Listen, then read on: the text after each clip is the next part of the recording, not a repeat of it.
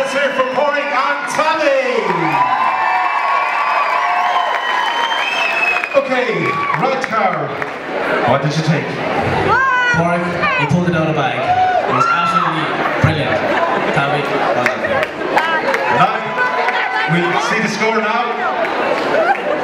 Yes, and number nine.